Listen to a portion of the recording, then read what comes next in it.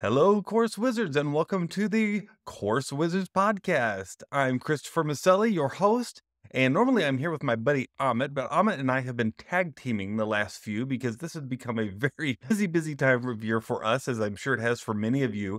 There's something about the November and December holidays that, boy, just really makes it difficult to get everything done in our jobs and our course creation and our, our extra online businesses, our side hustles families, all these things together. It's hard to get them all done. So Amit and I are just doing a little tag teaming.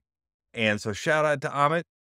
And I hope he's doing well there in Dallas. It's gotten about as cold up here in Arizona as it is there, I think, right now. This week, I just thought I wanted to jump on and just talk about something that's been on my mind a little bit lately. And I'm sure it's something that you've heard before, but stick with me because this is something that I need to hear on a regular basis. I'm preaching to the choir a little bit today because what I want to talk about is how perfectionism is the enemy of progress. Perfectionism is the enemy of progress. What does that mean? It means that sometimes we strive so hard to make everything work exactly the way we want it to make those online training videos exactly the way that we picture them in our mind, to make a flawless presentation that we never actually progress and get the thing done. Y'all know that I'm a writer by trade, and often when I'm talking to writers, I tell them that if they have written a book and finished it, they've done something that 90% of writers never actually do. Finish the project. It's really the same with online training. So many of us have these great ideas of courses that people will need and that will make us those extra bucks. And they're up here in our head. Maybe we've even written down an outline, but getting that thing done, actually sitting down and recording every session is so difficult. And there are times that we may have even gotten to that step. We recorded them, but then we know we've got to edit them. And we want them to be edited perfectly. And we want to have the website that we put them on look perfect. And so time passes and we never quite get it done.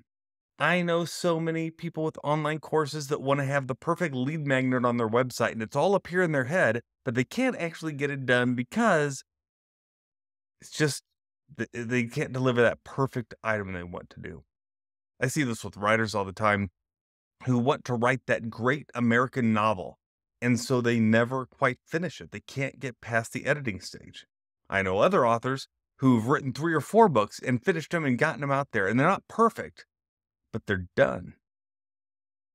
I was working with a salesman a few years ago who was very articulate, a very good salesman, and he'd come up with this idea. It was his the way he does sales, right? This is going to be a book about the way he does sales, the steps he walks through. He had a perfect allegory set up for it that was the opening chapter and then used the rest of the book to explain how his system worked. And we worked together on this book for several months. It was not uh, hardly written down when he started, and we got the whole thing written down. And he read it and he said, Yeah, this is cool, but just not quite there yet. And we talked about it a lot, and I reread it again, and I said, This is actually quite good. I think you can I think you can publish this. And he said, I think I think I want to sit on this for a month or so and just see if I can figure out what's not working for me. And I knew right then this book will never get published. And as far as I know, to this day, it has never gotten published because he never came back to it, because it never achieved that perfection that he was looking for. And I can't help but think how much lost opportunity is there. I mean, he was speaking at places at least on a monthly basis. He had so much influence people he would tell about his the same thing that's in this book that he now had nothing to give them because he wouldn't just say, I'm going to put my stamp of approval on this and send it out. At least for now. Because really, even if it wasn't written exactly the way he wanted it, at least he would have delivered on what he'd promised. You want to know my sales formula? Here it is in this book. He could have delivered on that promise. But he lost out on doing it because of perfectionism. When it comes to the online course space, I think of Evelyn Weiss. If you know the online course space, you've probably heard of Evelyn Weiss. Amit and I have talked about Evelyn Weiss many times because she's someone who has a great sales funnel. She says, I think it's for $7 a month. You can get into her monthly online training, and it is packed with so much info. And she makes all these promises. And you know what? She delivers on all of them. But what's funny about Evelyn Weiss is that up until, I don't know, maybe six months ago, she was making her millions, literally millions. And when you went and gave her your $7 and went to get the product, it was in a spreadsheet. Every step of what she offered was in a spreadsheet with videos on YouTube. She basically spent no money on the delivery experience, right? It was all in the funnel. But when you got in there, your fr- the first thought you have is, "Oh my, this doesn't look good at all."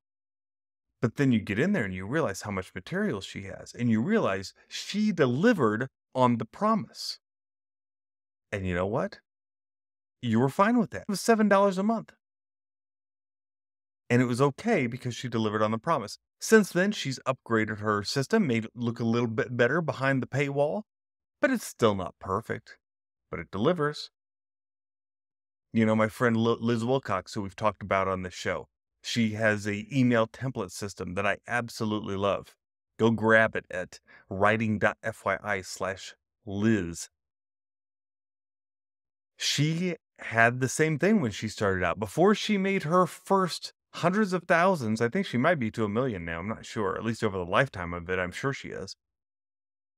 She would sell her template system, and when you logged in to get it, it was in a Google spreadsheet. It wasn't even password protected, y'all. Wasn't even password protected.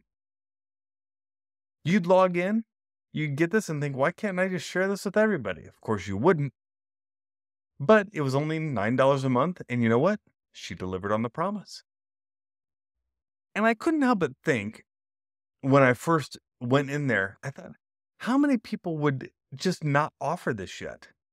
They would think, no, eh, this isn't in my fancy system. I don't have this in Teachable yet, or New Zenler, or Teachery.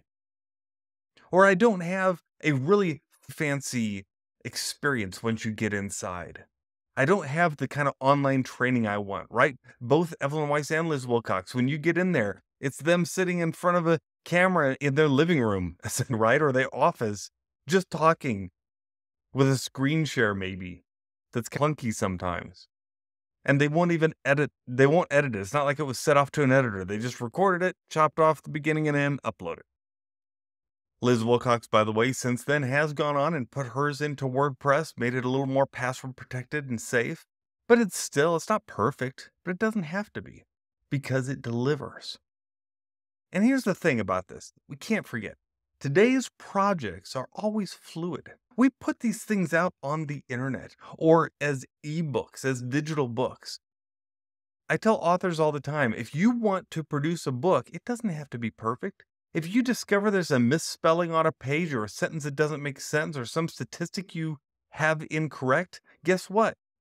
You change it, re upload the file. Everyone from that point forward will see the that much better manuscript.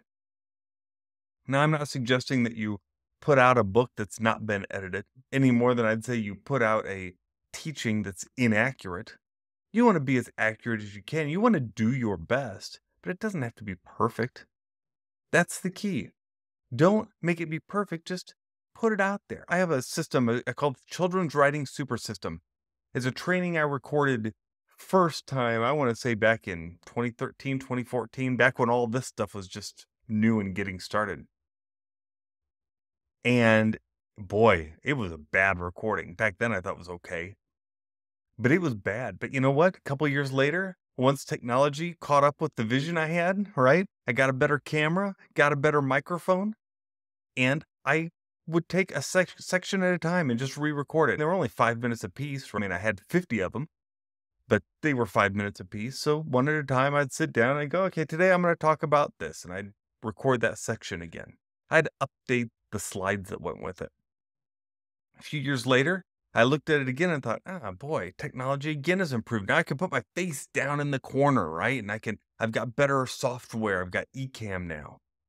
So I'd re record it once more, upload it again. The people who'd already paid for it, they just get the updated version.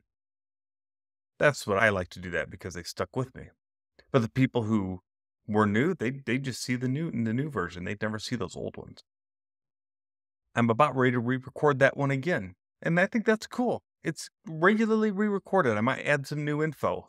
At one point, I had the whole children's writing super system and never even mentioned ebooks because that wasn't a thing, right? Now it's a big thing. Self-publishing, big thing. You've got to talk about those things now. So I update the course.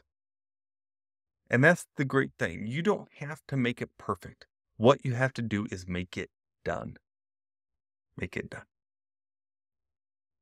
So I want to ask you here's my challenge to you this week. What's your goal right now?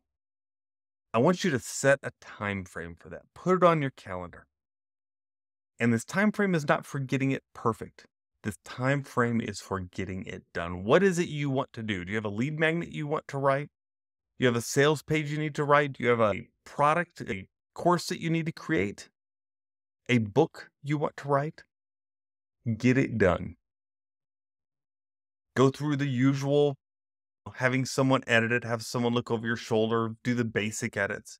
And then once you finish it and put it out there, if you want to update it, make it even better, go ahead. But get it out there, get it done. Because then you got something for the world to see. Hey, I hope you're having a good holiday se- season. You know someone who you also know needs to get it done. You say, hey, this episode really spoke to me. Go ahead and share this Course Wizards episode with them. I hope you will. Because when you rate, review, subscribe, and share, man, that helps other people find Course Wizards. We hope you've enjoyed the Course Wizards. We got many, many more episodes to come. Until next time, this is Chris and Amit in Texas saying, keep creating. Bye bye.